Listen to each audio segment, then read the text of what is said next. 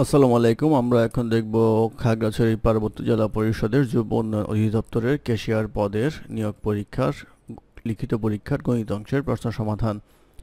আমাদের চ্যানেলের সাথেই থাকুন, আমরা প্রতি পরীক্ষার পর চেষ্টা করি সেই পরীক্ষার প্রশ্নের গণিত অংশের সমাধান ভিডিও আকারে আপলোড করার জন্য।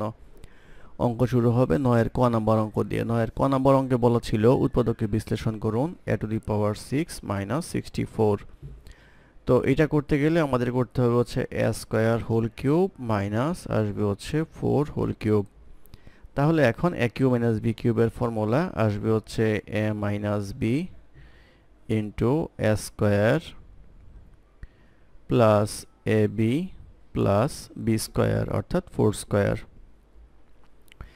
এটিকে লিখে যাবে হচ্ছে a square minus two square তাহলে a plus b into a minus b তাহলে a plus two into a minus two এটুকু সূত্র করলে।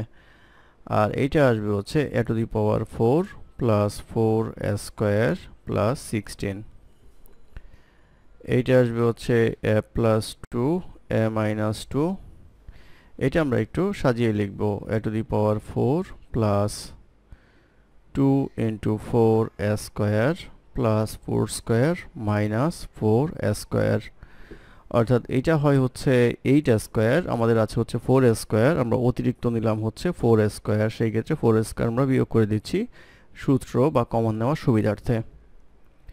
এইটা আসবে a plus two a minus two এটুকু করলে আসবে হচ্ছে a square whole square plus two into four square plus four square minus two a whole square. তাহলে a plus two, a minus two, এইটা আসবে হচ্ছে a square plus four whole square minus two a whole square. এইটা হচ্ছে a square minus b square, a plus b into a minus b. তাহলে a plus two, a minus two, এইটা আসবে a square plus two a plus four আর আসবে হচ্ছে a square minus two a plus four এটি হবে নির্ণয় উৎপাদকের বিশ্লেষণ, এটি এই প্রশ্নের উত্তর। তারপর প্রশ্ন নাম্বার নয়ের খ।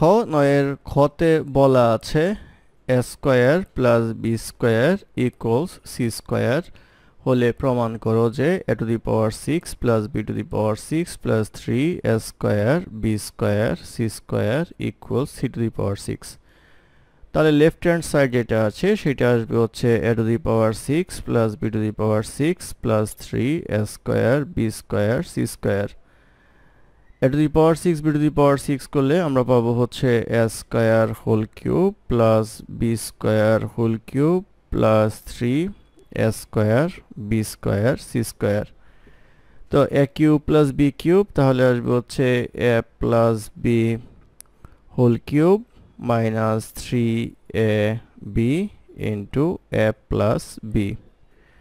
Plus এই three a square b square c square তো এখানে যদি মান বসাই, তাহলে আসবে হচ্ছে square plus b square equal c square c square whole cube minus three a square b square এটার মান হচ্ছে square plus three a square b square c square তাহলে এটি এটা কাটা থাকবে হচ্ছে c to the power six equals আসবে হচ্ছে রাইট হ্যান্ড সাইড অর্থাৎ left hand side equal right hand side প্রমাণিত। তারপর প্রশ্ন নম্বর দশ নম্বর দশে বলা আছে পাঁচ অঙ্কের বৃহত্তম সংখ্যার সাথে কোন ক্ষুদ্রতম সংখ্যা যোগ করলে যোগফল ছয়, আট, দশ উচ্চতর দ্বারা বিভাজ্য হবে? তো এইটা আমাদের যেটা করতে হবে, পাঁচ অঙ্কের বৃহত্তম সংখ্যা যেটা আছে সেটা হচ্ছে নিরানব্বই হাজার নয়শো নিরানব্বই, এটা হচ্ছে পাঁচ অঙ্কের বৃহত্তম সংখ্যা। এখন আমাদের দেওয়া আছে ছয়, আট, দশ, চোদ্দ দ্বারা বিভাজ্য হবে। অর্থাৎ এর চেয়ে বড় সংখ্যাটা। তাহলে চোদ্দ দ্বারা বিভাজ্য হতে হলে এটার লসাগু বের করতে হবে। লসাগু বের করে যত পর্যন্ত গুণিতক এর চেয়ে বেশি হয়, সেই পর্যন্ত যেতে হবে। যাওয়ার পর আমরা বিয়োগ করে বের করে ফেলব। তাহলে এটা লসাগু করলে আসবে হচ্ছে দুই, তিন, চার, পাঁচ, সাত। তাহলে দুই ইন্টু তিন ইন্টু চার ইন্টু পাঁচ ইন্টু সাত ইকুয়ালস আসবে হচ্ছে আটশো চল্লিশ। আটশো চল্লিশ হচ্ছে লসাগু। এখন আটশো চল্লিশের কত গণিতক করলে নিরানব্বই হাজার নয়শো নিরানব্বইয়ের চেয়ে বেশি হয় সেটা আমাদের দেখতে হবে। তো আটশো চল্লিশ যদি একশো বিশ গুণ করি, তাহলে আসবে হচ্ছে এক লক্ষ আটশো। তো আমাদের পাঁচ অঙ্কের বৃহত্তম সংখ্যা যেটা আছে, সেটা হচ্ছে নিরানব্বই হাজার নয়শো নিরানব্বই। তাহলে যে পার্থক্যটা আছে, সেটা হচ্ছে এক লক্ষ আটশো মাইনাস নিরানব্বই হাজার নয়শো নিরানব্বই। বিয়োগ করলে পাওয়া যাবে হচ্ছে আটশো এক। তাহলে এই আটশো এক যদি আমরা এই নিরানব্বই হাজার নশো নিরানব্বই সাথে যোগ করি, তাহলে আসে হচ্ছে এক লক্ষ আটশো যেটা হচ্ছে আটশো চল্লিশ দ্বারা বিভাজ্য। মানে হচ্ছে ছয় আট দশ চোদ্দ দ্বারা বিভাজ্য হবে। এটি হবে এই প্রশ্নের উত্তর। আটশো এক হবে এই প্রশ্নের উত্তর। তারপর প্রশ্ন নাম্বার এগারো। নাম্বার এগারোতে বলা আছে, দশ টাকায় দশটি ও আটটি দরে সমান সংখ্যক আম ক্রয় করে দশ টাকায় নয়টি দরে বিক্রয় করলে শতকরা কত লাভ বা ক্ষতি হবে? তো আমরা এখানে ধরি বা দেওয়া আছে দশ টাকায় দশটি আম ক্রয় করে। অর্থাৎ ক্রয়ের ক্ষেত্রে আমরা যদি হিসাব করি, তাহলে দশটি আমের ক্রয় মূল্য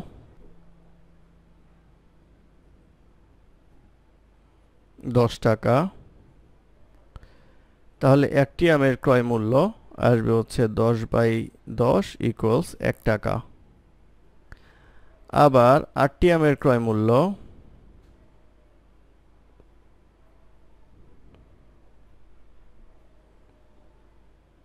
দশ টাকা। তাহলে একটি আমের ক্রয় মূল্য আসবে হচ্ছে দশ বাই আট, আসবে হচ্ছে পাঁচ বাই চার টাকা। এটা আসবে হচ্ছে ক্রয় মূল্য। অতএব দুইটি আমের ক্রয় মূল্য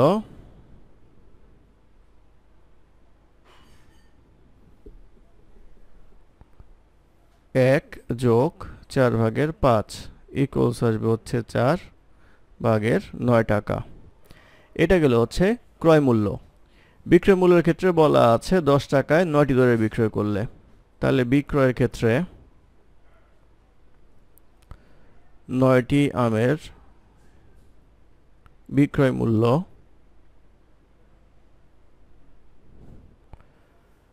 ইকুয়ালস আসবে হচ্ছে দশ টাকা। তাহলে দুইটি আমের বিক্রয় মূল্য হবে হচ্ছে বিশ বাই নয় টাকা। এই বিশ বাই নয় টাকা হচ্ছে দুইটি আমের বিক্রয় মূল্য।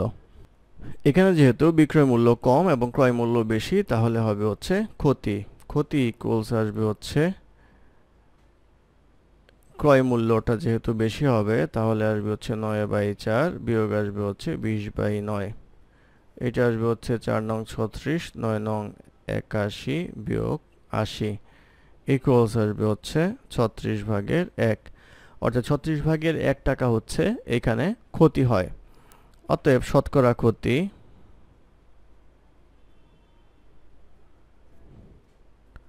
শতকরা ক্ষতি আসবে হচ্ছে আমাদের ক্রয় মূল্যটা নিচে থাকবে সব সময় নয় বাই চার, আর এটা আসবে হচ্ছে এক বাই ছত্রিশ ইন্টু একশো। ইকুয়ালস আসবে হচ্ছে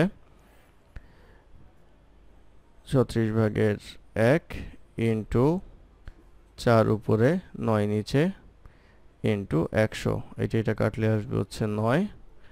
এটা আসবে হচ্ছে একশো বাই একাশি পার্সেন্ট একশো বাই একাশি পার্সেন্ট মানে হচ্ছে এক দশমিক দুই তিন পার্সেন্ট এটি হবে হচ্ছে ক্ষতির পরিমাণ। এটি হবে এই প্রশ্নের উত্তর। ধন্যবাদ আমাদের সাথে থাকার জন্য। আমাদের চ্যানেলটি ভালো লাগলে অবশ্যই সাবস্ক্রাইব করবেন, লাইক, কমেন্ট এবং শেয়ার করবেন। অঙ্কে কোনো সমস্যা থাকলে আমাদের কমেন্টে জানাবেন। আমরা চেষ্টা করব কমেন্টে রিপ্লাই দেওয়ার জন্য। ধন্যবাদ।